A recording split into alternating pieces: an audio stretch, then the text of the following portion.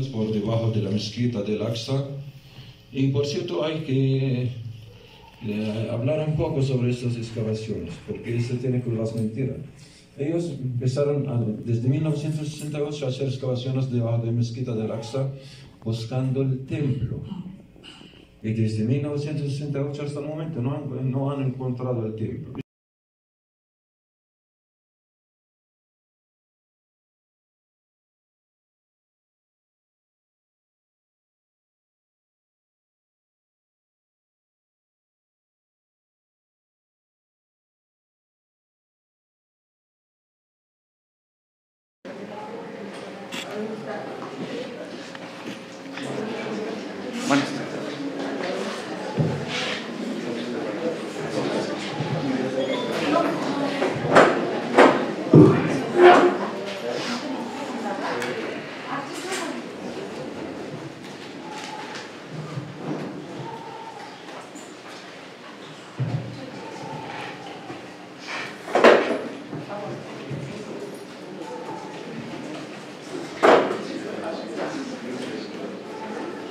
¿Gustan un café? ¿Algo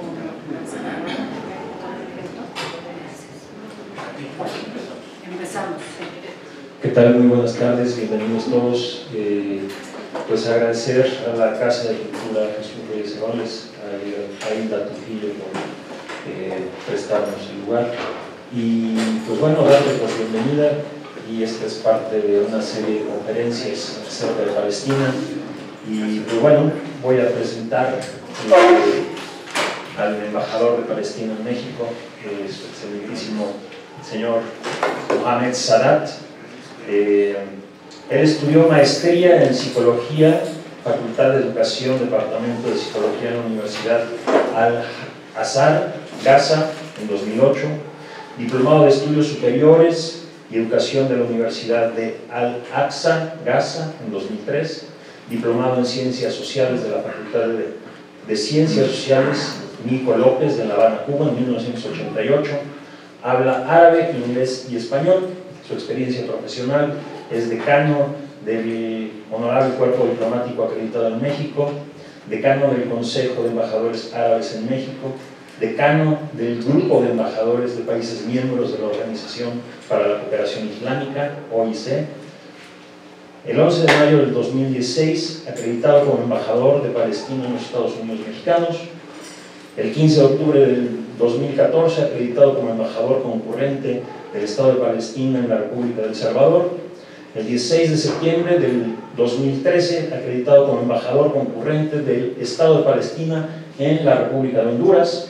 El 30 de octubre del 2009, acreditado como embajador del Estado de Palestina en la República de Nicaragua. Subdirector general del Ministerio de, la Juventud y Deporte en Palestina en 2006 conferencista en la Universidad de Al-Quds en Gaza. En 1991 a 1994, labor política y diplomática en Cuba. En 1988 1991, labor y estudios investigativos políticos por cuenta propia. En 1984 a 1988, labor en la Unión General de Estudiantes Palestinos en Cuba. Y en 1979 a 1984, labor en la Unión General de Estudiantes Palestinos en Turquía. Por favor, recibamos con un fuerte aplauso.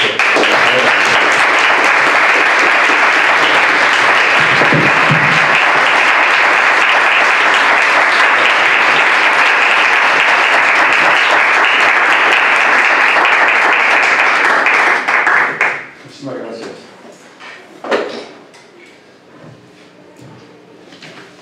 En primer lugar, quiero agradecer a la Casa de Cultura Reyes Aureles, a la compañera Soraya, Silvia, Cristian, a todos ustedes por estar con nosotros hoy. Eh, en realidad, eh, para hablar de lo que está pasando actualmente, tenemos que hacer referencia un poco a la historia, porque lamentablemente hay mucha gente que eh, cuando no saben el origen de este conflicto, conflicto se pueden confundir eh, en muchas cosas. Y yo voy a empezar diciendo de que nosotros como palestinos somos víctimas de eh, ideas coloniales de mentiras, tergiversación, ilegalidades, y nosotros estamos pagando todo eh, esto, el costo de los intereses coloniales en la región. Y como se dice, para saber de política hay que saber de geografía, eh, lo que nosotros llamamos geopolítica. Y para tener ideas sobre la situación, quiero empezar diciendo, eh, darles una idea sobre la ubicación. Voy a estar un buen rato con ustedes hablando. No tengo ningún problema, al contrario, me da mucho gusto hablar con ustedes. Por eso estoy interesado en darles una explicación muy amplia sobre todo para entender todo a, a profundo y poder, porque eh, se supone que estoy hablando con personas solidarias y no se interesa que las personas solidarias eh, tengan una idea profunda para poder defender la justicia. Entonces, estamos hablando de la eh, vocación de, Palestina. Palestina se ubica en una región, en una vocación muy importante. Es el enlace entre Asia y África. Y también Palestina está ubicada eh, tiene acceso a dos mares, tiene el mar muerto, pero tiene acceso también a dos mares, que el eh, Mediterráneo y el Rojo. Y como ustedes saben, de ahí es el, eh, los pasos marítimos. Palestina siempre ha sido el corredor, el paso del comercio entre Asia y África.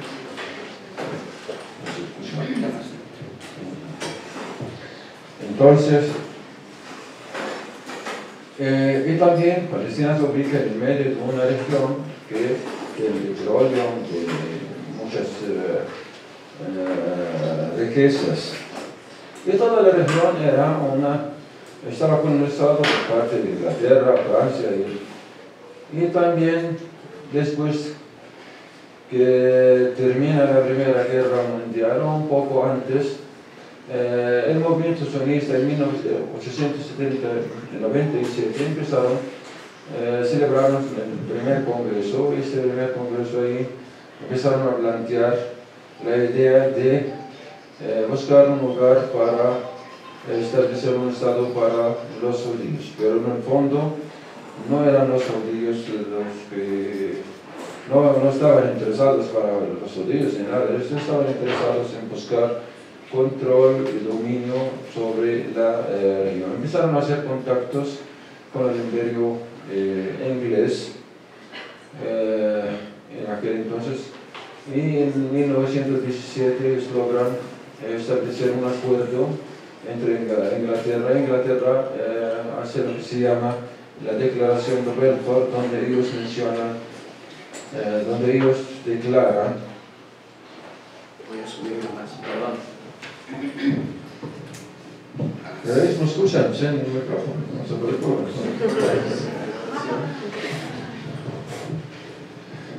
Entonces, así está. Entonces, eh, Inglaterra se compromete con eh, el movimiento sionista a dar eh, un lugar para los judíos eh, para establecer Estado en Palestina. Y fíjense, Inglaterra no tiene derecho, porque este territorio no pertenece a Inglaterra, a dar este territorio. Tampoco los migrantes que van a Palestina no tienen derecho tampoco a apropiarse del territorio nuestro. Y de ahí empieza la injusticia. Regalar territorio que no le pertenece a ellos a gente que no lo merece. Y de ahí empezamos. Y en este vale mencionar que en esta eh, eh, declaración o promesa, digamos, que es de media hoja. En esta eh, declaración ellos mencionan la palabra Palestina dos veces y eso es muy importante porque actualmente ellos dicen que Palestina no, no ha existido. Los eh, israelíes. No, pero la gente que les regalaron el territorio mencionaron a Palestina. Y eso es muy importante saberlo. como solidarios, a ustedes les interesa esta información para discutir con la gente. Se menciona dos veces. Si la gente que les regaló el territorio menciona a Palestina. Y les da territorio de Palestina, no es de otro lugar. Entonces el movimiento sionista, pero antes de 1967, 17, perdón, eh, los judíos vivían en Palestina y formaban como el 6% de la población, no tanto. Y vivían, eh, vivían como palestinos y todos vivíamos y sin ningún problema, judíos, cristianos, musulmanos, y todos nos considerábamos como palestinos, se consideraban como palestinos. Yo no vivía en entonces. Eh, todos ellos se consideraban como palestinos. Ahora, ¿qué pasa? vamos ahora a pasar a otra idea. La otra idea es que los, el movimiento sionista internacional, para eh, persuadir a la gente, engañar a la gente a ir a Palestina, empezó a plantear algunas ideas y planteó a plantear algunas mentiras. La primera mentira es que ellos plantearon que Palestina es una tierra sin pueblo para un pueblo sin tierra, que nosotros no existíamos. Y al respecto quiero decir que la historia nuestra data de más de 4.000 años en Palestina. Y somos un pueblo milenario, tenemos una cultura profunda. Ellos por cierto, están robando la cultura nuestra porque ellos no tienen una cultura. Están robando la cultura nuestra. Y si hay tiempo, yo les puedo dar algunos ejemplos. Y esa es la primera mentira. ¿Y por qué digo esta mentira? Y hago paso en esta mentira, porque esta mentira es la que conduce el pensamiento de ellos hasta este momento. Que no quieren saber nada sobre el pueblo palestino. La idea de ellos es Palestina sin pueblo. Y quieren seguir Hicieron la mentira, la crean, quieren que engañar a los demás y quieren que todo el mundo crea la mentira de Dios. Eh, plantearon otras cosas de carácter religioso para usar la religión, la religión en este conflicto, porque este conflicto de ninguna manera no es un conflicto religioso, no tiene nada, nada religioso. Es un conflicto político que hay intereses expansionistas en la región y Israel es el instrumento para eh, lograr estos intereses expansionistas de dominio en la eh, región. Por ejemplo, empezaron a hablar de em, la tierra prometida. Palestina es la tierra prometida. ¿Qué tierra prometida si ustedes ellos, cuando hablaron de un lugar para Palestina, eh, para los judíos, hablaron de otras opciones, no solo de, Palestina. Ellos estaban discutiendo eh, la idea de establecer Estado judío en Uganda, en eh, Patagonia, en, otros lugares. Entonces nos preguntamos todos, si ellos hubieran escogido a Uganda, ¿sería Uganda tierra prometida también? o Patagonia, tierra prometida. Ellos estaban casi a punto de establecer el Estado en Uganda. Y después tuvieron eh, divisiones, ellos cambiaron, pero estaban trabajando para ir allá. Y hablando de el pueblo de Dios, el pueblo elegido. ¿Y nosotros qué? humanos, eh, animales con figura humana como ellos nos describen actualmente. Solamente ellos son de Dios y Dios nos quiere a todos. Dios no distingue. Pero la pregunta, ¿por qué ellos plantean estas cosas? Plantean que ellos son pueblo de Dios. Porque esto ahora está más claro, el por qué en estos momentos. Ahora se ¿por qué? porque ellos quieren eh, hacer lo que ellos quieren, que nadie diga no, que, que nadie les puede decir no, que nadie les puede criticar y hacerlo en nombre de Dios. Que, Dios los, es que los manda. Entonces, para evitar el castigo. Y como somos eh, eh, religiosos y estas cosas, nosotros, uh, esto influye a mucha gente, engaña a mucha gente. Ah, Dios los manda, no hay que criticarlos. Entonces así evita el castigo y esto facilita para ellos eh, seguir violando y cometiendo violaciones contra nuestro pueblo. En 1917 ya empieza eh, la migración judía hacia Palestina con ayuda del imperio inglés. El imperio inglés empieza a facilitar eh, la migración, construir asentamientos para ellos y armar a estos migrantes. Y estos migrantes empezaron a organizarse en bandas como Haganah Stern, y estas bandas empezaron a atacar a nuestro pueblo. Cometieron muchos ataques, muchos genocidios, y esto culmina en 1948, donde se produce Al-Nakba.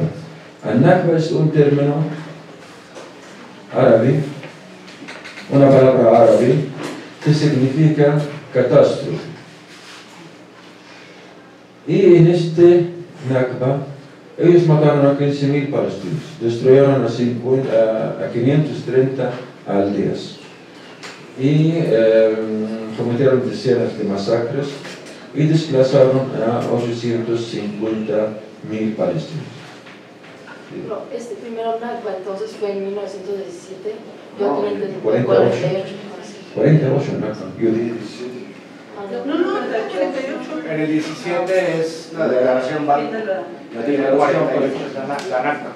Ah, Belfort no se hizo en el 45 después de la No, no, es un año antes del fin de la Primera Guerra. ¿Estamos? ¿Estamos de acuerdo? Bueno, eh, eh, muchos de ustedes saben de la historia, ya, ya leo, ese es algo bueno. Y me puede rectificar sin ningún problema, tal vez uno dice cosas sin querer. Y desplazaron a 850 mil palestinos afuera de Palestina. Vamos a ver lo que pasó en este momento, darle nombre, desplazamiento, masacres, destrucción, terrorismo por parte de las bandas sionistas contra nuestro pueblo. Porque esto nos hace falta para hacer la comparación después con lo que está pasando actualmente. Y no voy a hablar mucho de la historia. Ellos en aquel entonces ocupan el 80, el 78% de Palestina y eh, se dan muchos acontecimientos, guerras, eh, y después en el 67 ellos cuando ocupan el, 78% también podemos añadir expansión en el territorio palestino. Y ellos después en el 67 ocupan el resto de Palestina, que es Gaza y Cisjordania, y también ocupan alturas del Golán, al, ocupan a Sinaí de Egipto y ocupan una parte del Líbano. ¿Está bien? Muy bien. Entonces, eh, también esta etapa se caracteriza por lo mismo. Guerra, matan gente, eh, gente, muchos desplazados en el 67 también, y eh, expansión en el resto de Palestina y otros países árabes. Miren, ellos hablaron de tierra prometida, no se sabe cuál es la tierra prometida ahora. Si es alturas del Golán, hablaron de Palestina, tierra prometida, pero llegan hasta Golán, llegan hasta eh, Siria, hasta Líbano, y una expansión en toda la región, también más expansión. Bueno, Después de 1967 ya se dan muchos acontecimientos, conflictos, guerras, eh, pero eh, podemos resumir lo que pasó porque vamos ahora a hablar de otra característica de Israel que se han tomado a lo largo de este conflicto muchas resoluciones por parte de Naciones Unidas al respecto del conflicto. 194, 242 y otras resoluciones 2334, este último y, otro, y muchas otras resoluciones de literal de, eh, tienen que ver con los refugiados, por ejemplo, 194, el derecho al retorno y compensación a los refugiados, eh, la resolución que plantea el retiro de Israel de los territorios ocupados de 1967, resolución que, que tienen que ver con la, construcción de asentamientos, pero Israel que desmantelar, que no son legítimos, se deben desmantelar, y muchas otras resoluciones, pero Israel no cumplió ninguna de estas resoluciones, resoluciones que tienen que ver con Jerusalén Este, pero porque Israel anexó a Jerusalén Este a Israel. Entonces, eh, resoluciones que rechazan todas estas medidas israelíes. Pero Israel nunca ha aceptado cumplir estas resoluciones. Rechazó el cumplimiento de todas estas resoluciones.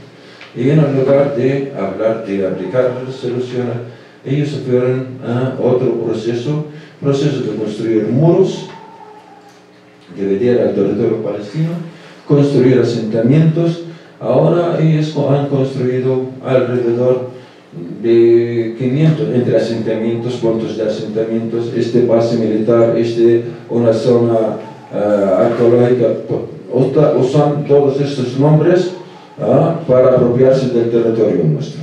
¿Y qué hacen? Trasladan colonos de Israel a vivir en Palestina. Y esto, está, uh, esto viola el derecho, la ley internacional porque un país ocupante no puede trasladar ciudadanos de ellos a vivir en territorios ocupados. Es una violación de la ley internacional. Entonces no, no aceptaron nada de las resoluciones, fueron al camino de expansión. Expansión y dividir al territorio en nuestros cantones y usan para esto los colonos. Vamos a hablar algo de los colonos. Cuando hablamos de colonos, mucha gente no sabe qué significa colonos. Los colonos son las personas que trasladó Israel a vivir en los asentamientos en nuestro territorio. Esta es la primera.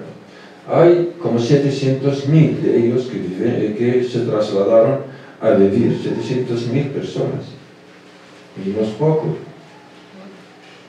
casi la mm, forma más de, entre el 25 y 30 de la población vive allá. Están cambiando, están tratando de hacer un cambio demográfico en Cisjordania. Y estos colonos están armados, estos colonos tienen eh, la tarea de atacar a nuestro pueblo, a nuestros campesinos, a cerrar calles. Hay como 700 puntos de chequeo en 700 puntos de chequeo. Entonces la gente que va a trasladar de un lugar a otro lugar necesita un día casi completo.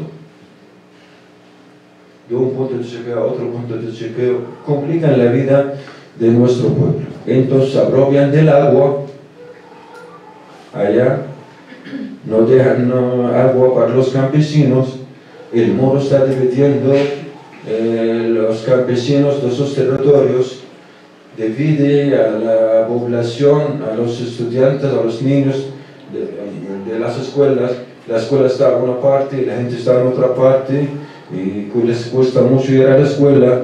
Entonces todas son medidas para complicar la vida de nuestro pueblo con el objetivo de desplazarlo. Y como dije dividen la Cisjordania en cantones para cambiar la realidad en el terreno y decir que no hay condiciones para establecer el Estado palestino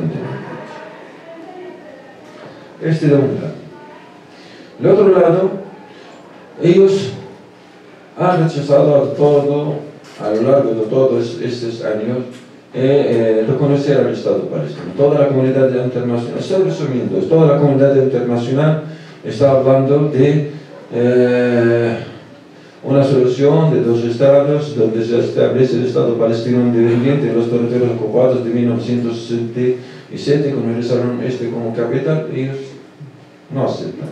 Al contrario, anexan a Jerusalén Este, dividen a Cisjordania en cantones, expansión de asentamientos y quieren cambiar toda la realidad para decir que no hay condiciones para establecer el Estado eh, palestino. Junto con esto, ellos han llevado eh, un proceso, unas guerras contra nuestro pueblo en Gaza. Lanzaron varias guerras contra nuestro pueblo en Gaza. Hablando de Gaza ahora, eh, Gaza a lo largo de estos 16 años, 17 años, ya está prácticamente bajo eh, un asedio total, un asedio. Control no, permite, no se permite nada, eh, un gran desempleo eh, para nuestro pueblo y ahí viven en situación, una situación económicamente muy difícil. Junto con esta situación difícil, ellos han lanzado varias guerras contra nuestro pueblo en 2008, 2008 finales de 2008, 2009, en 2012, en 2014, en 2021, en 2022, y estas guerras han matado miles y han herido también miles. Y también en estas guerras han destruido mil, decenas de miles de casas entre destrucción total y destrucción eh, parcial y además de destrucción de infraestructura, edificios de gobierno, instalaciones de gobierno, todo, escuelas, mezquitas, iglesias, todo. Entonces, lo mismo, un proceso de destrucción, eh, matanzas, eh, dificultar la vida de nuestro pueblo, y todo tiene un objetivo, desplazar a nuestro pueblo de nuestro territorio.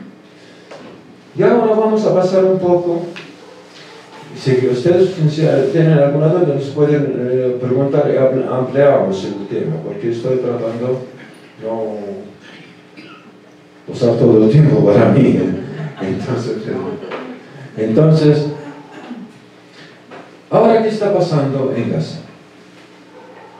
Antes de esta agresión contra nuestro pueblo en Gaza, eh, ya les di una idea, pero quiero ampliar un poco en esta idea. Rechazo total de aplicación de resoluciones de Naciones Unidas, eh, ataques terroristas por parte de los colonos contra nuestro pueblo, eh, cerraron todo el camino de la, de la paz, no aceptan avanzar en el proceso de paz, agresiones eh, continuas contra los lugares sagrados, quieren apropiarse de la mezquita del Aqsa, excavaciones por debajo de la mezquita del Aqsa, y por cierto hay que eh, hablar un poco sobre estas excavaciones, porque eso tiene que más mentira. Ellos empezaron desde 1968 a hacer excavaciones debajo de la mezquita del Aqsa, buscando el templo y desde 1968 hasta el momento no, no han encontrado el templo y sigue.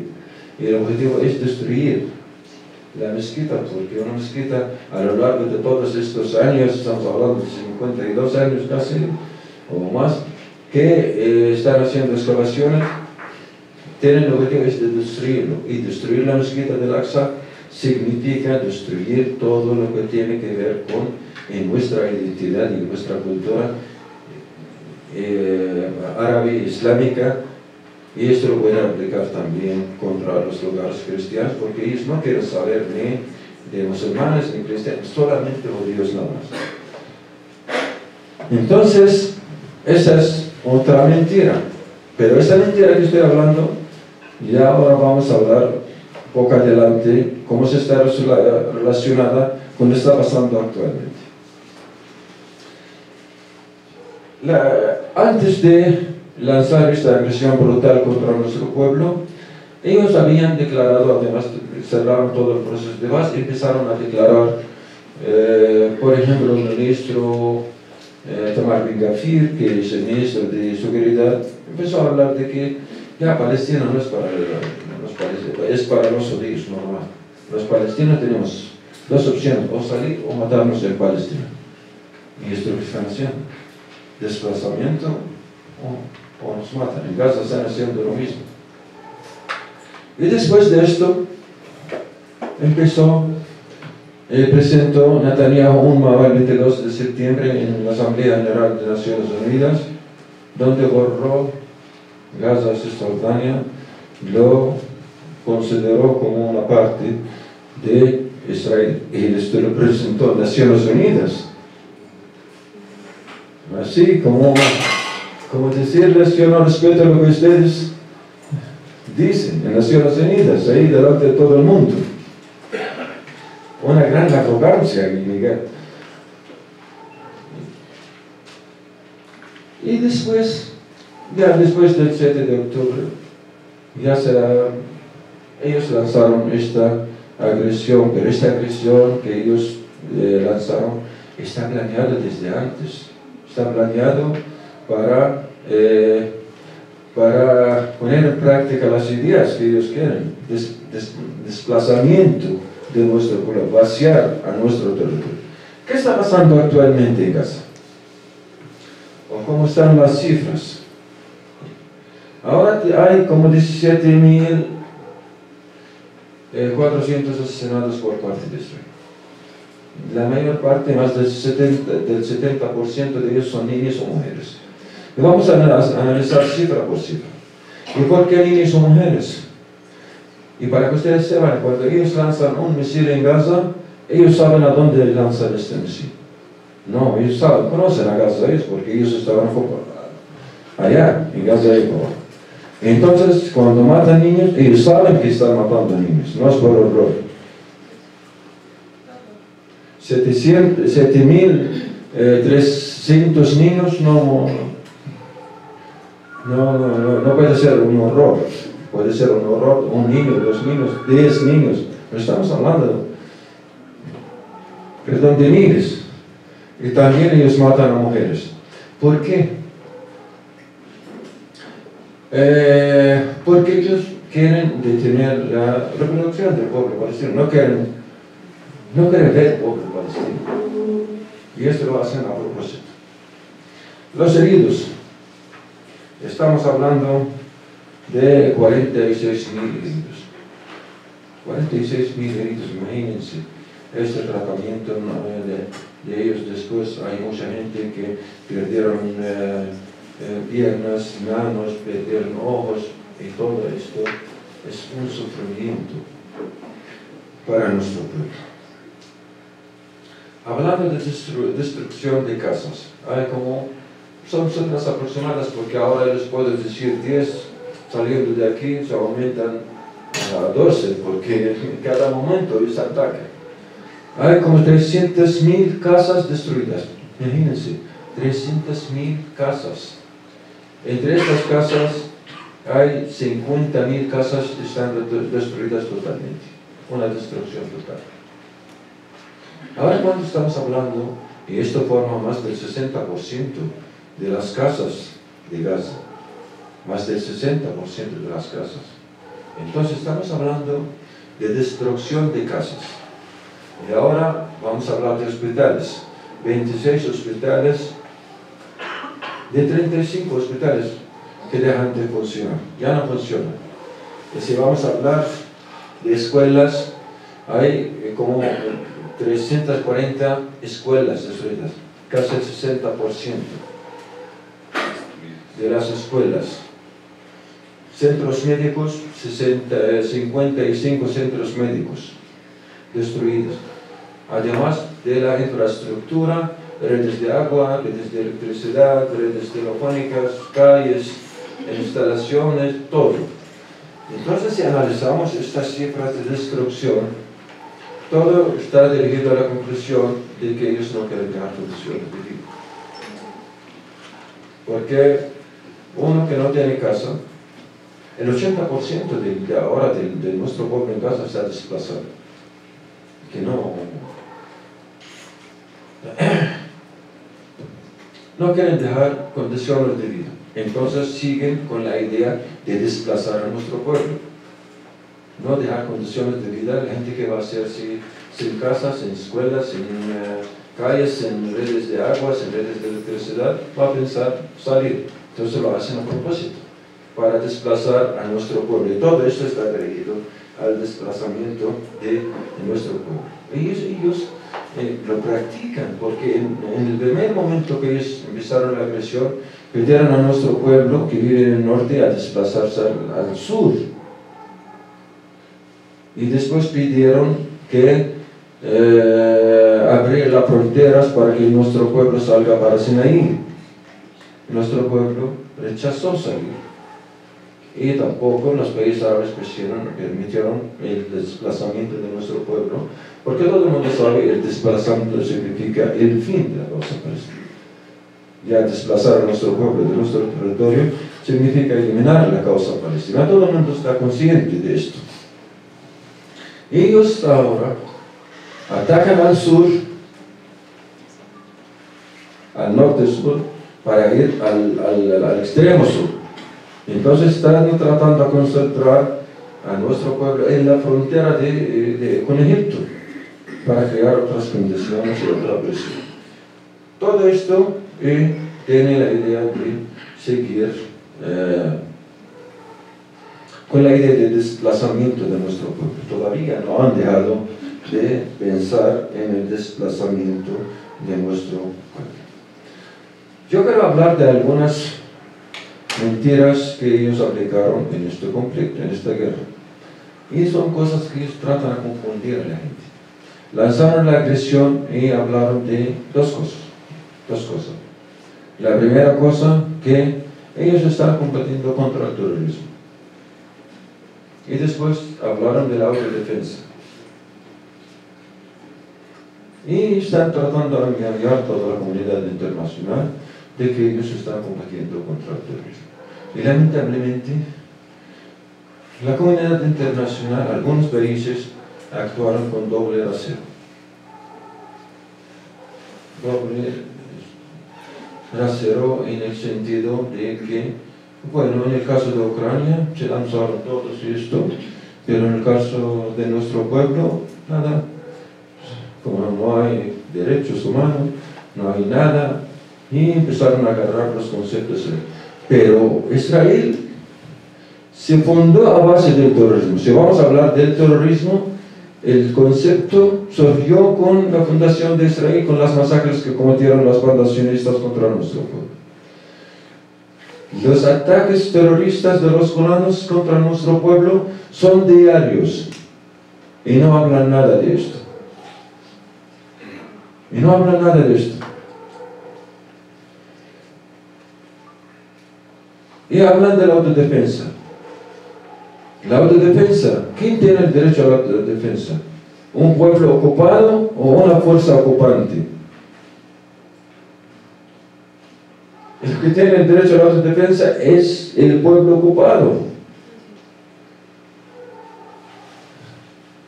Se ataca a un colono, todo el mundo se levanta. Y nadie pregunta, ¿qué está haciendo este colono en territorio que no le pertenece? ¿Por qué está robando el terror? Nadie pregunta. Esa doble nación por parte de la comunidad internacional nos hizo mucho daño, porque Israel consideró este doble rasero como una luz verde para seguir en su agresión, en sus masacres, su homicidio contra en nuestro pueblo. Lo consideró como una luz verde. Pero todo el mundo pregunta, ¿Por qué ese doble rasero? No se entiende, ¿no? No es lógico. Son, son países que hablan democracia, derechos humanos y esto. ¿Y por qué actúan con doble rasero? Porque ellos consideran como eh, que Israel es una potencia ya que protege intereses coloniales de ellos en la región. Eso lo planteó Biden. Dijo que ah, si no hubiera existido Israel, debíamos de haber creado eso. Y después declaran políticos americanos de que, ah, bueno, la presencia de Israel contribuye a controlar la decisión de los países, de la región. Entonces estamos relacionando las ideas que hablamos al comienzo. Que el papel es papel colonial de expansión. Y cuando ahora vamos a hablar de conclusión, cuando hablamos de conclusión, ¿cómo influye negativamente este papel? Y empiezan a actuar así sin respeto ni a valores humanos, ni al derecho internacional, nada, cuando ellos quieran pueden violar el derecho internacional. Y esto lo autoriza Israel para actuar como si fuera por encima de la ley. Ya no, nadie les puede castigar. Y regresamos a la idea del pueblo de Dios, que ellos tienen, tienen el derecho a hacer lo que ellos quieran. Nadie les puede criticar, nadie les puede castigar. Y siguen con estas violaciones al derecho. Lo manejan la comunidad judía, todos los medios de comunicación, la banca, los libros.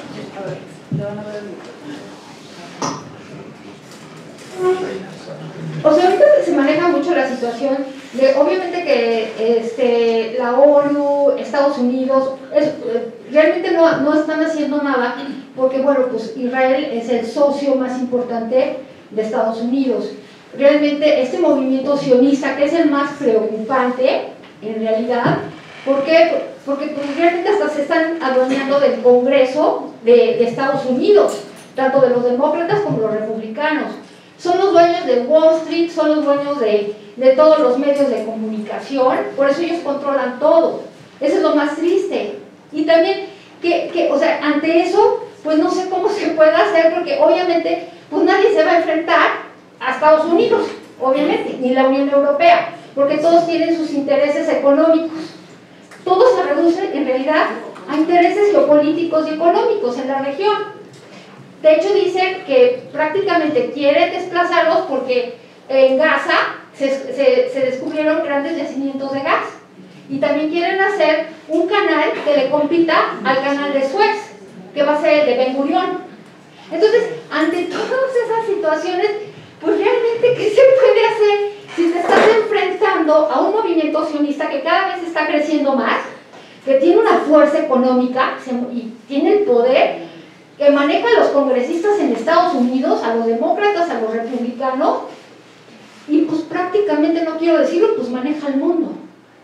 ¿Cómo enfrentarte?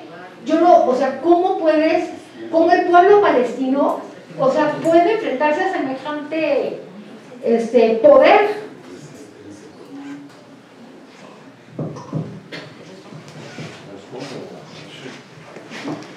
vamos a responder a esta pregunta. Responder a esta eh, eh, pregunta. está hablando de Naciones Unidas, Estados Unidos, del sionismo, del poder de ellos y todo esto. Y que es una, yo mm, estoy de acuerdo que es una situación muy triste, pero les voy a decir algo, nosotros como palestinos, este es un enemigo de todos, no de nosotros como palestinos. Nosotros desde el comienzo yo dije que nosotros estamos pagando el costo de todo esto, pero la responsabilidad internacional es muy importante, porque es peligro para todo porque esto afecta a toda la comunidad internacional. Por lo tanto, tenemos que eh, trabajar todos, trabajar todos. Ahora, para ser también optimistas, nosotros como palestinos hemos pagado mucho sacrificio a lo largo de 75 años de sacrificio. Y el enemigo amenazó a todos nosotros. El mismo enemigo con los judíos nosotros no tenemos problema. Porque aquí en México salen en las marchas judíos solidarios a todo. Y hay muchos judíos que son eh, contra la política de eso. Pero estamos hablando de un movimiento sionista que, tiene, que trata de tener... El movimiento sionista no solo tiene control, tiene deseo, intención de control mayor. Me estás hablando Parece que estás al tanto de la situación, ya estás hablando del gas, del canal y todo esto. Ahora dicen que Gaza tiene gas, el mar de Gaza tiene gas. Ah, por eso, como no es algo así, comentarios que no son formales, no he querido yo referirme a estas cosas, pero hay comentarios de lo que, de lo que me estás diciendo. Entonces, lo que me estás diciendo demuestra de, de lo que estamos hablando, que hay intereses en la región. Entonces, para esto nosotros como palestinos, ¿qué más podemos dar? ¿Qué más sacrificios podemos dar? Tantos masacres, tantas masacres, intentos de desplazamiento. En nuestro pueblo se destruye la casa, rechaza salir, va a donde están los escombros. Y por cierto, hay más de 7.500 personas que están por debajo de los escombros. Y van donde están los escombros de la casa y monta un, una carpa y se queda al lado de su casa. ¿Qué sacrificio más se requiere de nuestro pueblo? ¿Y qué más espera la comunidad internacional? ¿Cuántos niños más quieren matar de nuestro pueblo para que ellos actúen? nosotros somos un pueblo pequeño, no tenemos tanta fuerza para enfrentar a Estados Unidos. Y entonces, entonces, por parte nuestra, como palestinos, estamos haciendo lo que debemos de hacer. Estamos haciendo todo, estamos enfrentando. Y por eso en una de las ocasiones yo dije que la lucha nuestra, en su esencia, es una lucha para proteger la Carta de Naciones Unidas. Entonces la solidaridad con nuestra causa es una responsabilidad. Nos estamos luchando contra una, unos, unos intentos de, de violar todo, de violar todo. Carta de Naciones Unidas, Derechos Humanos, eh, eh, cometen crímenes de guerra, todo, todo, terrorismo de Estado, todo. Y nosotros estamos luchando contra todo esto. Eso quiere asentar este ejemplo en las relaciones de la, internacionales. El que tiene la fuerza tiene el derecho. Entonces nosotros estamos luchando contra, todo, contra esto. Por lo tanto, merecemos la solidaridad. Y para ser optimistas, para ser optimistas, todas las movilizaciones que salieron influyen influyen, influyen, por lo menos ya toda la comunidad internacional ahora sabe las mentiras de Israel, sabe, sabe la naturaleza de Israel. Entonces todo este engaño que ellos han utilizado ya nadie, nadie los cree. Pero esto también hay que acompañarlo con medidas, con sanciones. Y cada, cada uno de su lugar puede actuar y tomar medidas.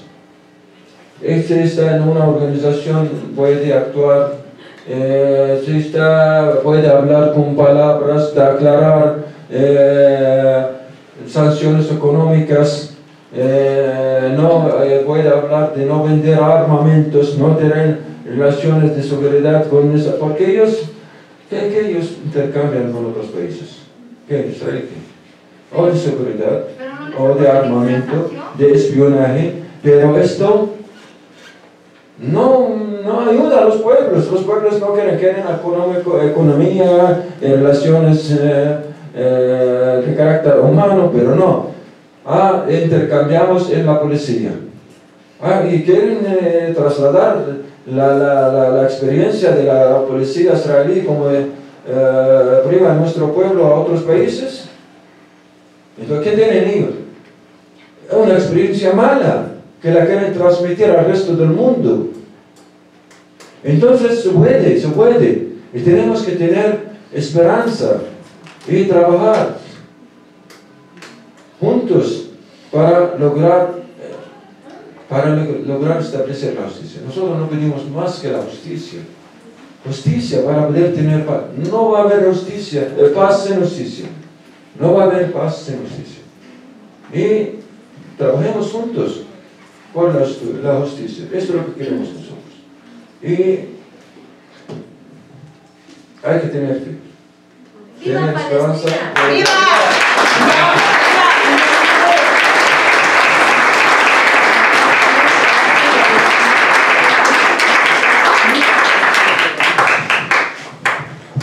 Eh, señor embajador, pues yo no conozco a fondo la política de Israel, voy a hablar de Israel.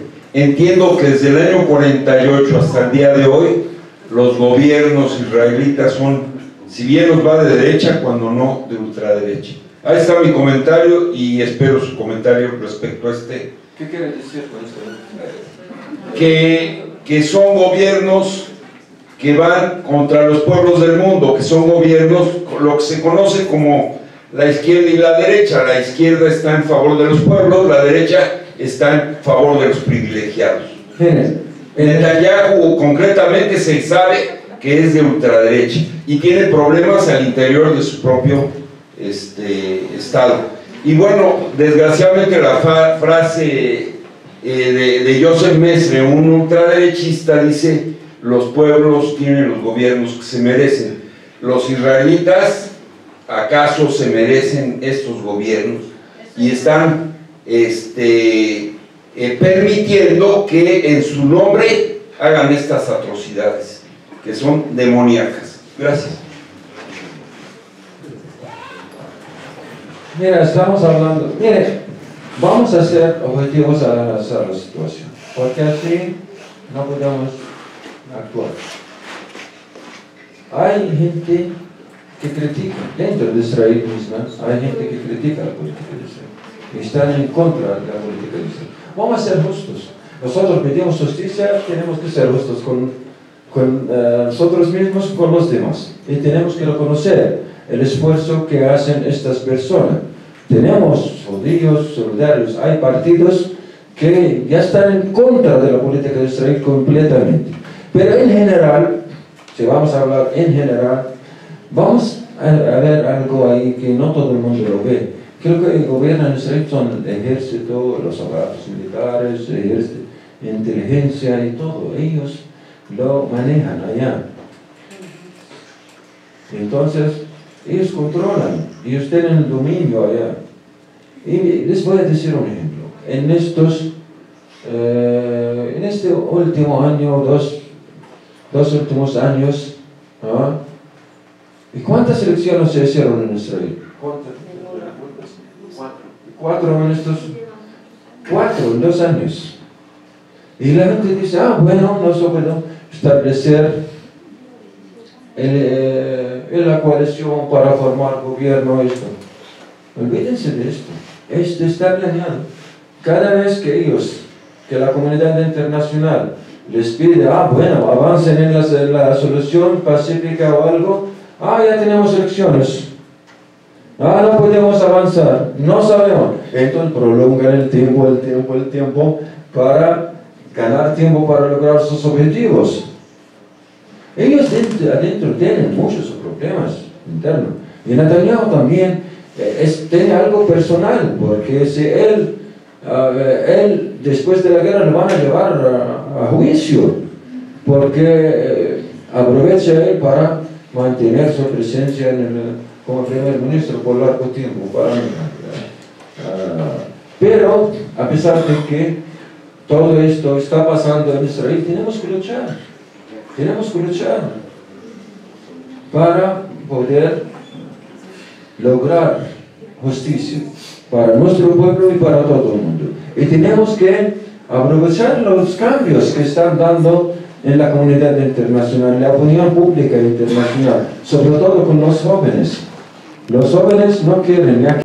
sobre los procesos de resistencia y emancipación de los pueblos, sus luchas contra el imperialismo, colonialismo y eurocentrismo, privilegiando siempre los procesos y su larga duración, adentrándose en el pasado más remoto y con, perdón, eh, concatenándolo con actualidad. Ha colaborado con diversos espacios alternativos independientes o antagónicos a las narrativas dominantes de propaganda occidental, tanto nacionales como extranjeros, entre los que destacan Telesur, Hispan TV, Russian Today, Sputnik, Almayaden, Misión Verdad, Prensa Alternativa, entre otros, a los que orgulloso e irónicamente les llama el eje del mal mediático.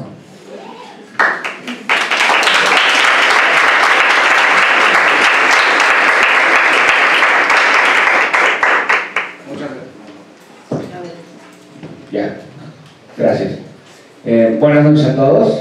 Eh, un agradecimiento especial a, a Soraya, quien hizo la presentación, por haber hecho, este, continuar haciendo este esfuerzo inmenso por, por buscar espacios donde se puedan generar otras narrativas, vaya, lógicamente de resistencia, ¿no? Eh, vaya, por cuestiones de tiempo no voy a acostumbrar, no, no voy a leer esto, es demasiado, es enfermizo y todos tienen que llegar a casa también, ¿no? Entonces, trataré de ser lo más breve y atenerme a lo que los compañeros dijeron. Estuve... Oh, uno, uno, no, ¿verdad? Ese el otro sí. Ese sí.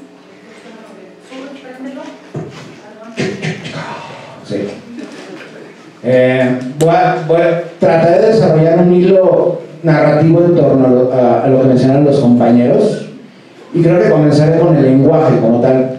No me voy a referir nada más al lenguaje, al idioma, a la lengua, en este caso el árabe, sino también el lenguaje como mecanismo que representa todo lo real, pero también lo simbólico y que define a, un ser humano y a un pueblo también, ¿no?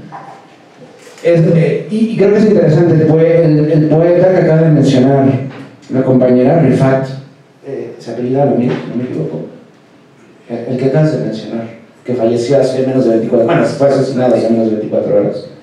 Este Rifat, ah, ajá, ¿se puedes poner la imagen?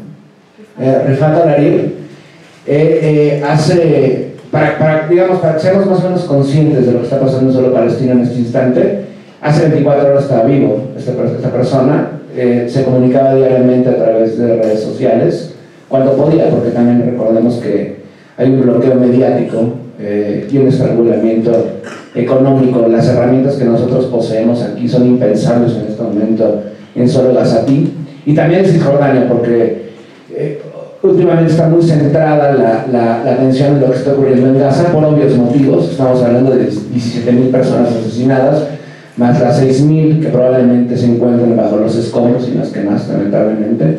Pero también se ha olvidado lo que ocurrió en Cisjordania, eh, lo que está ocurriendo, bueno, lo que ocurre desde hace 75 años, incluso extendiéndonos más, 120 años. Eh, de hecho, mucha gente no sabe, lo que ocurre el 7 de octubre en suelo Gazatí es una reacción por parte de Hamas y por parte de la yihad islámica a los hechos que habían ocurrido 48 horas antes en Cisjordania. Eh, hay una aldea que se llama Juguara, que está muy cerca de Nablus, donde una turba de invasores sionistas, bueno, de origen principalmente ucraniano, ruso, pero también franceses, eh, británicos, estadounidenses, consecutivamente desde el retorno de Benjamín Milekowski, alias Netanyahu, al poder, y atentos también con el apellido polaco, ah, volveré a hablar del lenguaje. Eh, consecutivamente desde comienzos del año 2023, del año presente, han hecho pogromos, si podemos equipararlo a lo que ocurrió en el Imperio Socialista Ruso hace un siglo, en contra de la población palestina. Eh, en este año han aproximadamente matado, se calcula que a 17 personas en la zona de Juguara, y 48 horas antes de lo que ocurre el 7 de octubre, eh, hubo un asesinato de un joven, que eso, vaya, fue uno de los elementos que sirvió para la respuesta, lógica por supuesto, y consecuente por parte de Hamas el 7 de octubre. Otros hechos, eh, y esto no fue el asesinato de este joven, sino también la destrucción del patrimonio palestino, viviendas, automóviles, prácticamente todo un barrio arrasado. Por, vaya, estamos hablando que en este año Jugara, solo Jugara, ha sido destruido cinco veces, ¿no? Por supuesto los medios eh, en Occidente jamás prestaron atención a esto. 12 horas antes de la respuesta por parte de Palestina, eh, el comisionado, digamos, en jefe, eh, del proceso, el proceso de paz en Oriente Próximo de Naciones Unidas, había declarado frente a este mismo organismo que ya era insostenible la situación que vivían los palestinos, bueno, históricamente, pero concretamente desde el retorno de Netanyahu, ¿no? Eh, y esto también fue momentos antes de que viniera la respuesta palestina. Y hay un tercer elemento, una nueva invasión por parte de los colonos sionistas en contra del complejo de las mezquitas en Jerusalén, en Al-Quds, en contra del Domo de la Roca y la mezquita de Al-Aqsa, donde golpearon a mujeres que estaban simplemente orando. Y, y bueno, de ahí la respuesta justamente palestina. Digo, no puedes pedir que una masa, que sí, generalmente está alienada a nivel planetario, que desconoce lo que ocurrió hace 75 años, no puedes pedir que conozcan ese proceso de hace décadas cuando no conocen el momento inmediato 48 horas antes. ¿no? Estamos viendo, más allá de un desconocimiento por parte de un sector importante, tenemos que eh, combatir ciertos mitos que ya están incrustados ahí, que se ven prácticamente como un dogma. Este dogma es extremadamente nocivo y al igual que en contra de muchos otros pueblos ha perpetuado mitos y por eso me voy a remitir a lo que mencionó el embajador hace ratito. Eh, generalmente cuando se hace un análisis desde las ciencias sociales o incluso, ni siquiera me voy a ir a las ciencias sociales, eh, por el simple sentido común, uno no tratará de meter elementos religiosos al pensamiento mágico de este mismo, este mismo análisis, ¿no?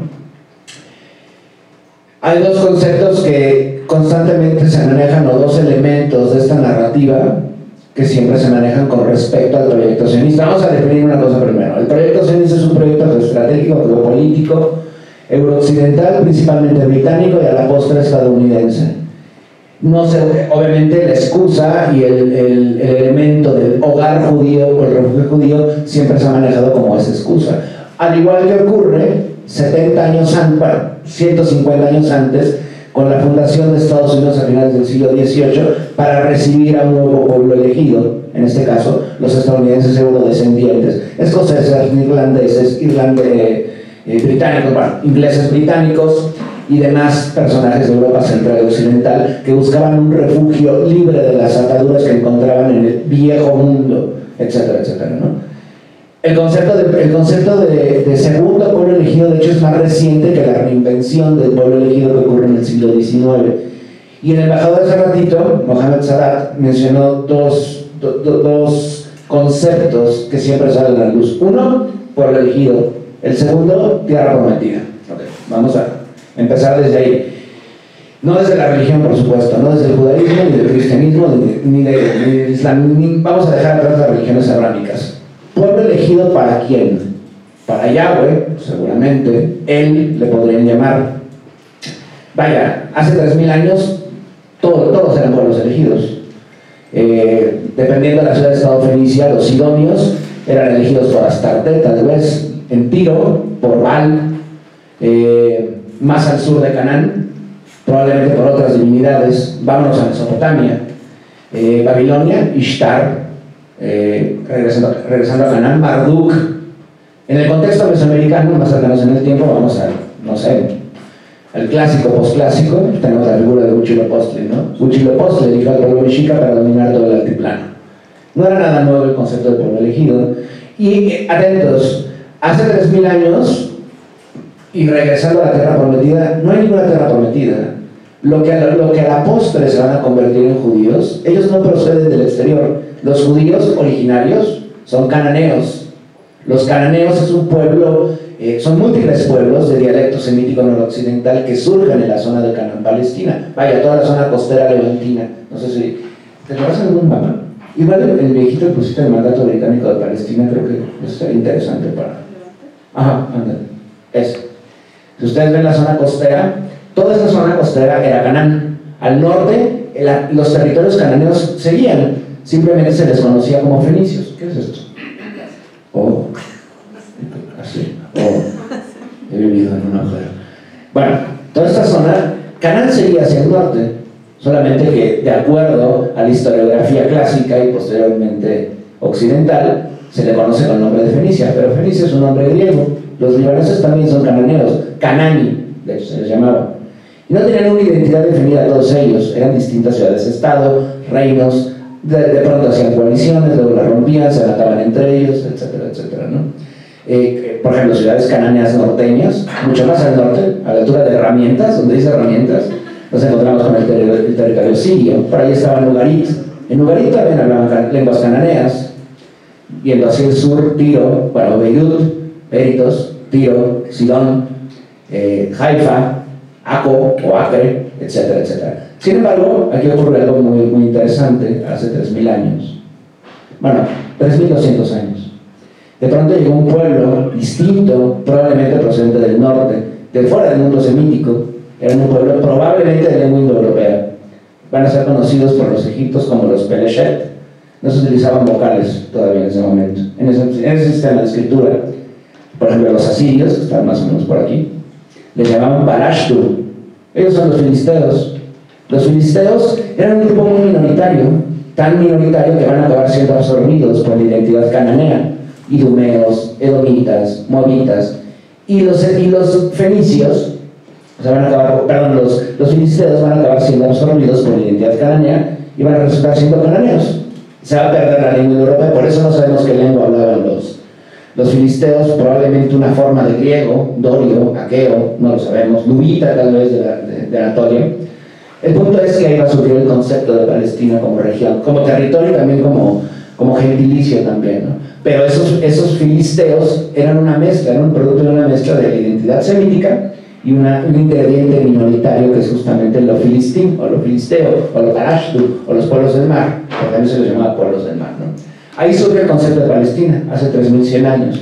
¿Por qué digo todo esto? Para romper ese mito que se maneja de que eh, los, primero, los romanos, hay, dos, hay como dos variantes, ¿no? Los romanos inventaron a los palestinos, o los británicos inventaron a los palestinos, no. Desde hace 3.200 años los imperios centralizados de Oriente conocían la región como Palestina y les llamaban Palashtu o Filistín. O sea, vaya, en este momento ellos mismos se llaman Filistín o se, o se llaman palestinos, ¿no? Entonces, no, los romanos inventaron a los palestinos. Lo que hicieron los romanos en el proceso de desjudaizar la región, acaban extendiendo el concepto de gentilicio de Palestina hacia el norte también, ¿no? Pero realmente el concepto de Canaán Palestina siempre fue intercambiable. Ahora bien, pueblo elegido, pues no realmente no son un pueblo elegido, simplemente son eh, uno de muchos otros pueblos que buscaban una deidad titular para que los protegiera y para también hacer la justa guerra contra sus vecinos. ¿no? Finalmente, tierra prometida tampoco, porque nunca llegaron del exterior, nunca llegaron de Egipto. Además de que en Egipto no había labor de esclavos. Por ejemplo, todos los grandes templos en el Alto, Bajo Egipto, en la Tebaida, etcétera, etcétera, realmente era labor remunerada, en ocasiones incluso con cerveza, ¿no? Entonces, pues no, no llegaron del exterior. Eran cananeos que con el pasar de los siglos, después de la destrucción del siglo VII por los imperios orientales, los neoasirios y los neobabilonios, que destruyeron el reino del norte, Israel, y el reino del sur, Judá, todavía politeístas, las élites van al exilio y el suelo babilónico ellos desarrollan una nueva identidad que a la postre va a ser conocido como una forma de monoteísmo que hoy llamamos judaísmo, pero atentos, porque también el judaísmo actual rabínico es muy distinto del judaísmo del segundo templo de hace 2000, 2300 eh, años más o menos. Entonces, por eso digo, hay que tomar con pinzas lo que encuentro en las escrituras religiosas, sin importarse en la, en la Torah, en los textos, en los textos veterotestamentarios o incluso en el Corán. O bueno, para, sin ir más lejos, la, Biblia y todos los libros sagrados no son libros históricos, tienen contenido de historia, por supuesto, ¿no? Contenido poético, contenido jurídico, contenido, bueno, incluso poesía erótica. Vean, el Cantar de los Cantares es un ejemplo, que en este, en este momento es un juego de niños, pero la Universidad de hace muchos siglos, pero de historia tiene poco. Y afortunadamente, eh, desde el siglo XVIII se han eh, orquestado herramientas para conocer de otras maneras el pasado, ya sea la historiografía, la historia reinventada, la modernidad, la arqueología, incluso la lingüística. ¿no? Ahora bien, ¿por qué digo estos dos conceptos? Eh, tierra prometida, pueblo elegido. Porque, en primer lugar, para seguir con el hilo de estas tres conferencias que estamos organizando, ¿no? para tratar de entender que ese elemento de que Dios nos dio la tierra, ¿qué Dios y a quién le dio Dios la tierra? Porque también en cuestiones étnico-lingüísticas la población judía de hace dos mil años no es la misma población judía que comienza a invadir eh, Palestina a finales del siglo XIX. Son dos grupos, no puedo decir totalmente distintos, porque tienen en común, por supuesto, la religión, pero que tienen distintos orígenes, por supuesto. Eh, eh, Judea, hace 2300, 2200 años, era población cananea que empezó a desarrollar una identidad del politeísmo al monolatrismo y finalmente monoteísmo. Pero gran parte de las comunidades religiosas que comienzan esta invasión con el amparo del Imperio Británico desde 1897, tienen en común que tienen orígenes diversos. Y también hay que entender que en el siglo XIX ocurre una reinvención del concepto de lo que es ser judío. ¿Qué es ser judío en ese momento? El gran debate es precisamente eso, ¿no? ¿Somos una religión? ¿Somos un pueblo? ¿O somos las dos cosas?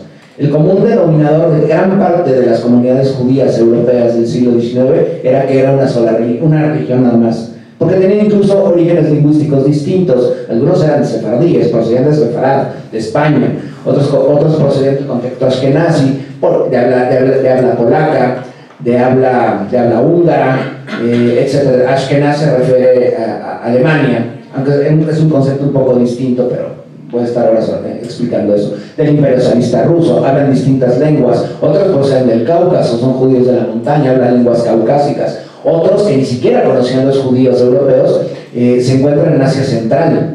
Son conversos de, pueblos eh, animistas que antes hablaban lenguas túrquicas o lenguas persas al judaísmo. Esa es una gran diferencia, ¿no?